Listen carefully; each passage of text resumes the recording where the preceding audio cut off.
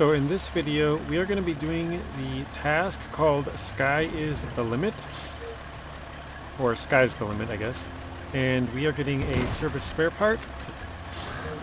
I was actually going to go down um, this... The, so we're on the right half of the river, basically.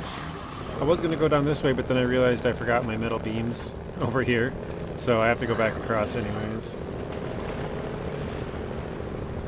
And I started driving out the Mastodon, which has the crane, because we're going to need to crane it up on top of the power line. Actually, I'm going to test if it needs it or not, because supposedly it doesn't on PTS, so we might not need it, but uh, I was driving out the Mastodon with a the new heavy crane that they added for that,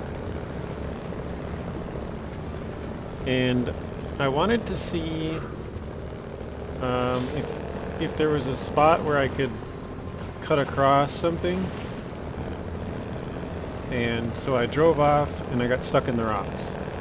I'll show you guys, you guys will probably think I'm stupid, but um, I know that part of this river is pretty shallow and you can drive across it.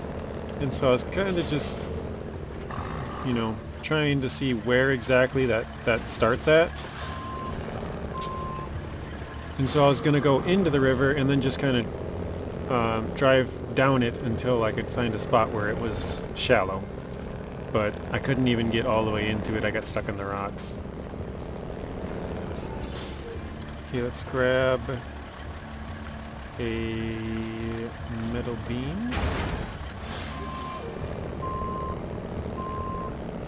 So yeah, the plan is we're going to drive there with this and try and go into the water and then drive there and see if we can deliver without the crane. Actually, I lied. Excuse me. Because the crane is on our way, so we'll just pull the crane out and then drive there. And if we need it, we can just drive the crane the rest of the way. But if we don't need it, we can just deliver and call it. So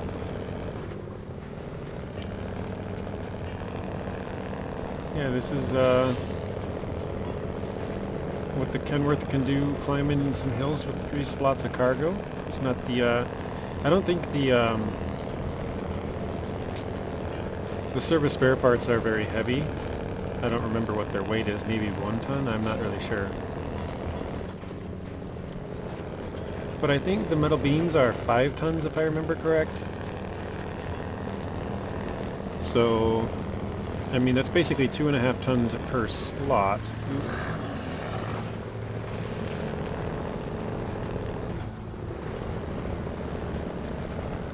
But yeah, this is the hill. If you guys remember the video where I tried to haul the big trailer with the Mack, this is the hill that I tried to climb with the, the K7M and the P12, and they... I had the P12 with the big crane, and the K7M couldn't climb it, neither could the P12, and they couldn't climb it together either, so... Uh, yeah, that's where that, that hill was. And then I brought out the Derry Special and flipped it going up the hill and just said screw it. I didn't even attempt to flip it back over. I was just like, alright, whatever. I'm not going that way. So I went a new way with the 605R and that was fine. You can actually see our Azov 73210 across the river over there by that little shack.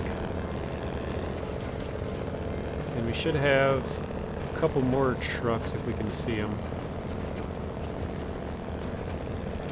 I still don't know why I have this truck here. You guys can't see it quite yet, but I, yeah. And so here's where I tried to go out into the water with the Mastodon, so... I wanted to see exactly where the shallow part starts.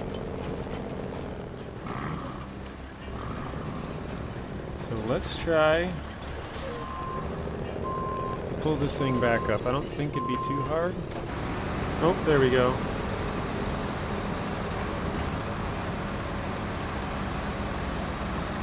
So we have the Mastodon with the big new crane. We'll park this off on the side.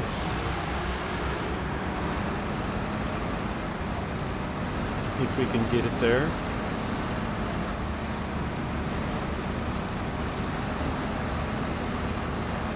So that looks like a, a spot where I, I probably should have gone in, but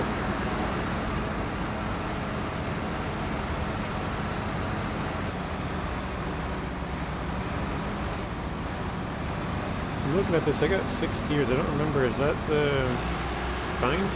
No, it's not fine It Must be uh, advanced special. I think I have in here. All right, we're back into our Kenworth here and I still want to find out where exactly this uh, shallow area starts. This is this will be get some good knowledge for uh, when the phase drops.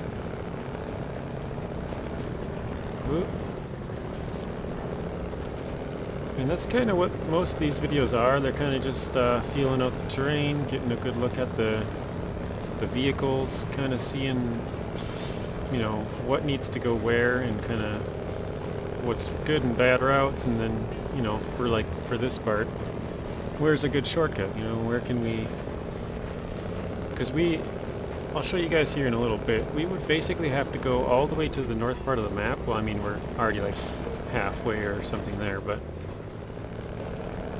We'd have to go all the way up and then across and then down, and then we'd have to go through some water. But I think... Not exactly sure where the shallow part starts. I, I think it's right about here somewhere.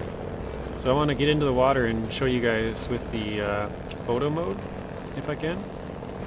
That, ooh, that looks like a good way down right there, maybe? Yeah, it looks pretty good. So, sort of an experiment, guys. Uh, it might go badly. We'll see.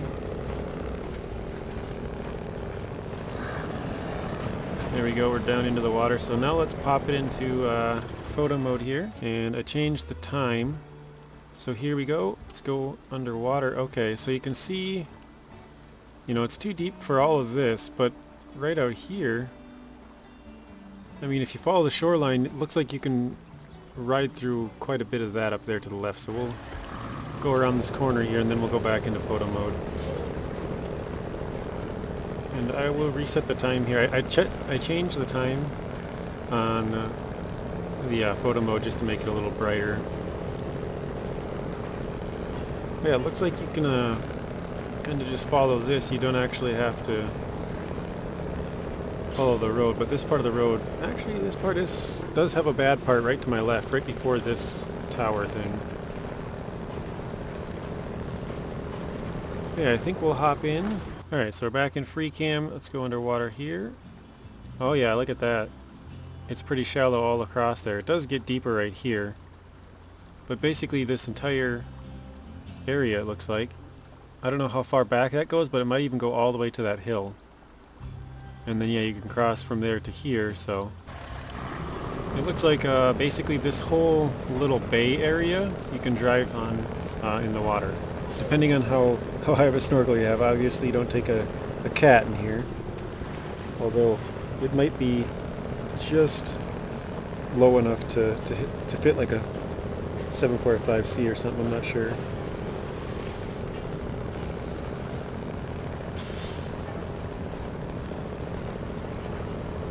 So I'm kind of just driving around right now to kind of check this part out. Know I probably, I mean I could be doing this off recording, but maybe this is good knowledge for you guys, I don't know. Let's check, uh, check this part out now. Oh wow, it's getting deep right here. Alright, so here we go. Okay, yeah, this whole area, I mean over there it's it does look like it's a little bit deeper, but it's fairly shallow throughout most of this area, all the way over towards the bridge. I mean, in the middle part it's obviously deeper, but um, yeah, it looks like it's a pretty pretty drivable throughout this whole area. So Um, instead of having, like I said, instead of having to follow this road, see if I can back up with the parking brake on here.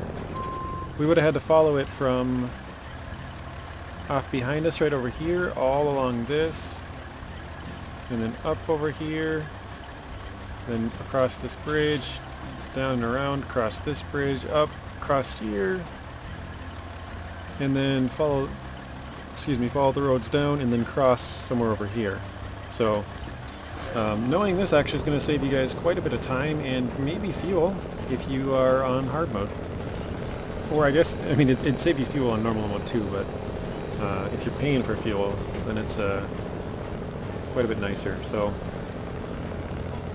let's go up here. It does look like we will need the crane, but let's see if it allows us to do... Oh, nope. It still has a zone, even though it's only showing up above. Um, it has a zone down here, so we don't need it for this particular video. So I will save us the time, and we'll uh, we'll use the big crane when the when the actual game comes out. So let's unload this. And there we go, 730 and 8,050 for that. And I just wanted to show you guys, if you did need the spare parts and you don't have that warehouse that I have down by the garage, you can get the service parts here, and you can get the metal beams up over here. So you could drive all the way up north, you know, from the garage down here, all the way up, go grab your beams, grab your uh, service spare parts, and then drive down and cross in there. But it looks like basically from here over to here, and then there's kind of like a little cutout right here where it's really deep, but all of this area you can drive on if you have a decent uh, depth snorkel, or I don't know if that makes sense, but anyways. But that is going to be it, guys. Thank you guys for watching. If you want to watch another video, there's a random video on screen and another playlist. Please be sure to share the video, like it, comment, and subscribe. Turn on those bell notifications so you're notified when I upload. And until next time, peace.